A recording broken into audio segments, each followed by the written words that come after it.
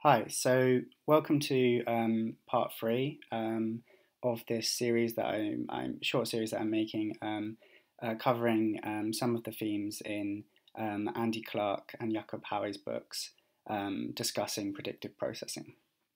in the last uh, video, talked about prediction error, and prediction error being the difference between um, a model or predictive model and the data. Um, and the idea is that in predictive processing is that the, one of the core mechanisms um, in predictive processing is that the brain is constantly trying to reduce prediction error uh, wherever it can. Um, and in doing so, um, it uses the prediction error to update models, um, predictive models that can make better inferences about the causes in the world. So in this video, we're going to be talking about the perceptual hierarchy, um, and this is sort of working out a bit more of the detail about how predictive processing might work in the brain. Um, so what I've got is a sort of simplified um, hierarchy, um, which shows worldly cause. So we're going to let's just talk about um, visual, the visual system, because it's, it's, it's the sort of paradigm case. Um, worldly cause could be sunlight, hitting the um, photoreceptors in the retina. Um, and then what we have here is this two-way flow. We've got prediction errors going up the hierarchy from low levels to higher areas, and then we have top-down predictions coming from high levels down to low levels. So what's happening is that at each level, let's say at the lowest level here, um, there's a top-down prediction saying predicting what that sensory input is going to look like. And then and there's a prediction error unit, which we'll talk about later, which then says, well, there's a mismatch here between the predictions and the input, and the prediction error will then go up to the next level in the hierarchy. Same thing happens again in the middle area, is the middle area is getting top-down predictions from the highest area.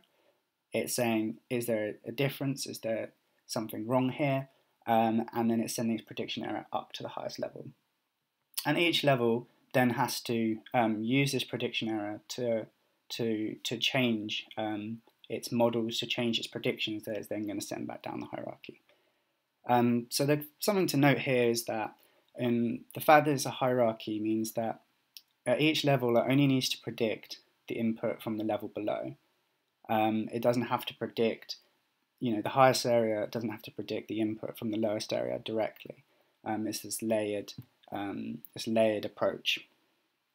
Okay, so what do we need to actually to, to do this?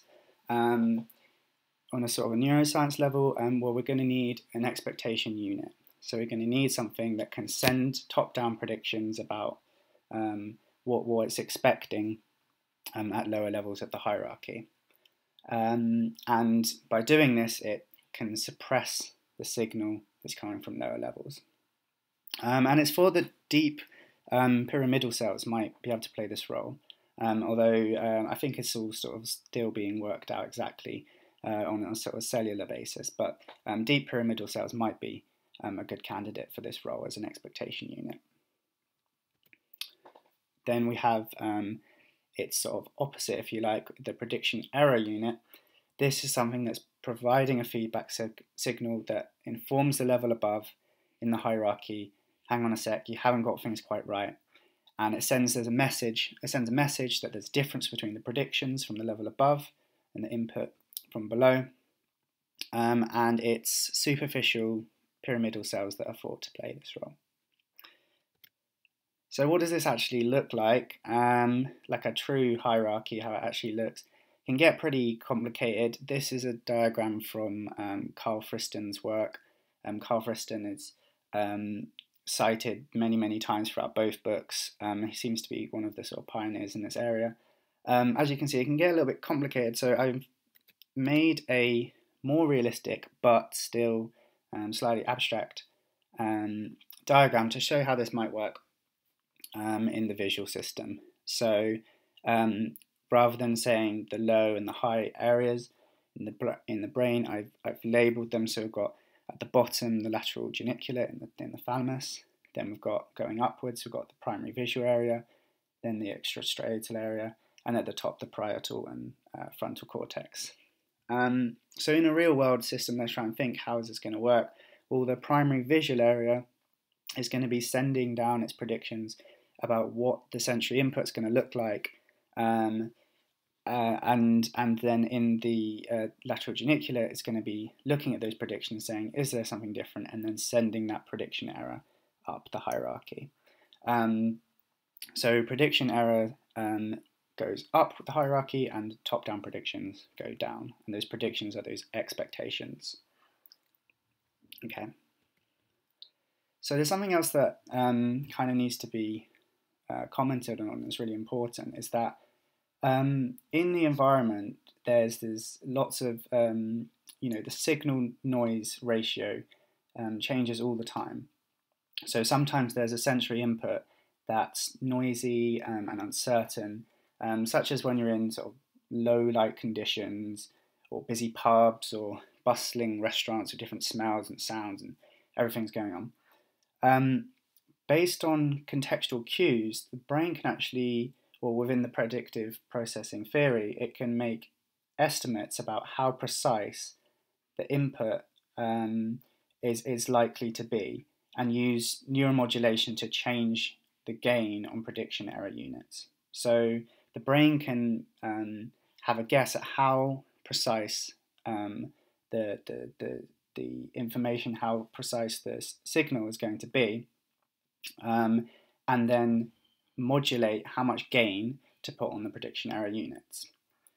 So high precision expectations, expectations that there's going to be nice high precision um, uh, data, will increase the gain on prediction error units.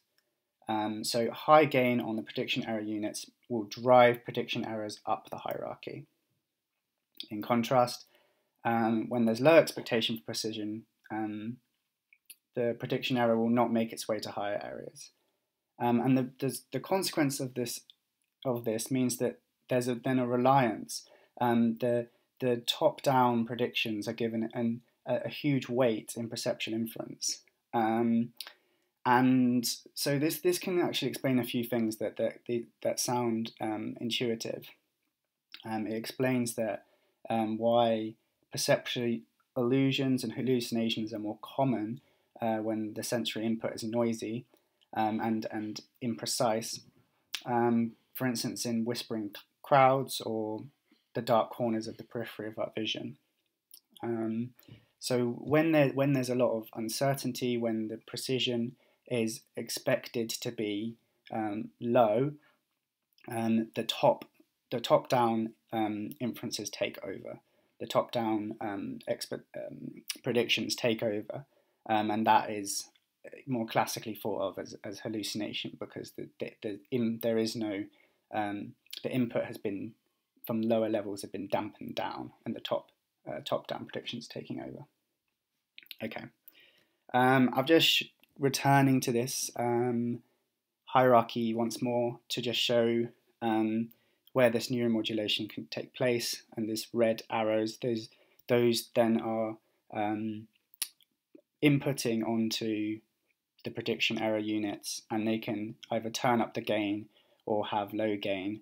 Um, and if there's high, uh, if it's expecting high precision, it will then turn up the gain and send those prediction errors straight up to the top of the hierarchy. If there's uh, low um, expectation for precision, then those top-down predictions are gonna um, are gonna take over. So there's one last part for this video, which is on attention. Um, so prediction prediction processing has something important to say about attention, and one of the slogans that's found in um, both Surfing Uncertainty and the Predictive, predictive Mind is um, attention is nothing but optimization of precision expectations. Um, it's a little bit wordy as a slogan, but um, what it means is that the focus of our attention is a way of us to sample data that we expect will be precise. Um, and in doing so, we turn up the gain on the prediction error uh, prediction error units in that region. So um, another way of putting this is that we sample the world for precise sensory information that will help us prove our current hypothesis about the world. Um, and if there's a prediction error, this error will be propagated to the highest areas of the brain because of the high gain on the prediction error units. Um, and this propagation of uh, prediction error will then result in a revision of the current hypothesis.